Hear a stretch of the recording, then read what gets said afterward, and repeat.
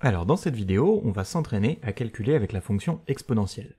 Donc comme d'habitude, je vous laisse quelques secondes pour mettre sur pause et essayer de faire l'exercice de votre côté, et puis ensuite on passe à la correction. Donc ça devrait être bon. On nous dit simplifier les expressions suivantes. Et ce qui est intéressant avec la fonction exponentielle, c'est que les règles de calcul sont les mêmes que celles que l'on a déjà vues avec les autres puissances. Donc si par exemple on a e x, eh bien c'est exactement la même chose que de dire e puissance x. Donc très concrètement, on va pouvoir réutiliser toutes les règles que l'on a déjà vues avec les exposants. Ce qui nous donne, pour la première expression, e puissance 3 multiplié par e puissance moins 4 multiplié par e puissance 2. On avait vu que lorsque l'on multiplie des nombres identiques par des puissances qui sont différentes, eh bien on a simplement à additionner ces puissances entre elles. Ce qui nous donne e puissance 3 moins 4 plus 2, ce qui nous donne 3 moins 4 moins 1 plus 2 simplement 1. Donc on a e puissance 1, ce qui est égal à e. Donc ça c'était pour notre premier calcul. Ensuite, on a e puissance moins 3 divisé par e puissance 2. On avait vu que lorsque l'on faisait une division entre des puissances, eh bien ça revenait à faire la soustraction des puissances entre elles, ce qui nous donne e puissance moins 3 moins 2. Vous voyez, on soustrait moins 2 à moins 3, ce qui nous donne moins 3 moins 2 moins 5. Donc on a e puissance moins 5. Ensuite on a e puissance 2 multiplié par e puissance 4 divisé par e. Toujours le même principe, simplement on va le faire en deux étapes. On va d'abord faire e puissance 2 plus 4, toujours divisé par e. 2 plus 4, ça nous donne 6, donc on a e puissance 6 divisé par e. On peut considérer que e c'est e puissance 1, ça revient en même, donc on a 6 moins 1, e 6 moins 1, ce qui nous donne e puissance 5. On passe au d, on a entre parenthèses e 3x par 2, c'est-à-dire au carré. Alors cette fois-ci, on va pas simplement ajouter des exposants, mais on va les multiplier. Pourquoi? Eh bien parce que c'est tout le e puissance 3x qui est à la puissance 2, c'est-à-dire qui est multiplié par lui-même.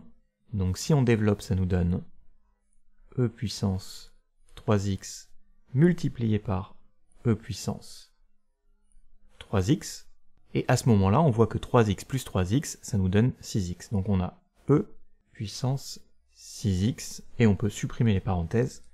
Elles sont maintenant inutiles.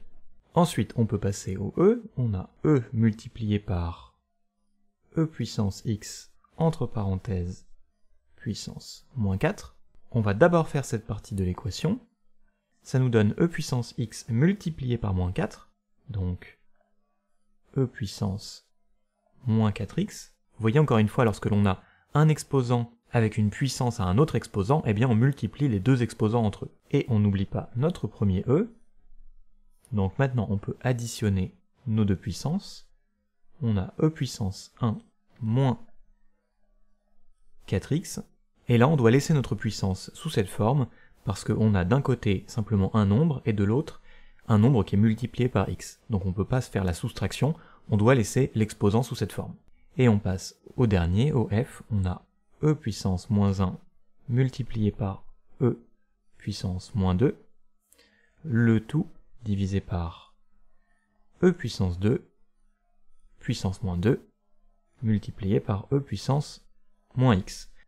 Donc on va descendre un petit peu parce qu'il va être un petit peu plus long. Ce dernier calcul, il va mettre en jeu tout ce que l'on vient de voir. On va le mettre ici sur la gauche. Et on va faire la même chose, on va procéder étape par étape. Donc déjà dans le numérateur, on peut faire notre addition. e puissance moins 1 moins 2 plus moins 2, ça revient au même, divisé par e puissance 2 à la puissance moins 2, on va multiplier les exposants, ce qui nous donne 2 fois moins 2, c'est égal moins 4, donc e puissance moins 4, multiplié par e puissance moins x. Dans le numérateur, on a moins 1 moins 2, c'est égal à moins 3, et dans le dénominateur, on a e puissance moins 4 moins x. On va maintenant soustraire le dénominateur au numérateur, donc cette partie, on va la soustraire à ça, ce qui nous donne e puissance moins 3 moins, entre parenthèses, moins 4 moins x.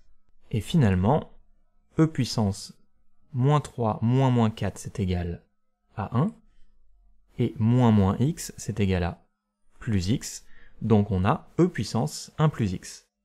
Et on en a terminé avec cet exercice. Donc j'espère que ça aura pu vous aider. Si c'est le cas, n'hésitez pas à laisser un like et à vous abonner. Et puis on se voit dans une prochaine vidéo.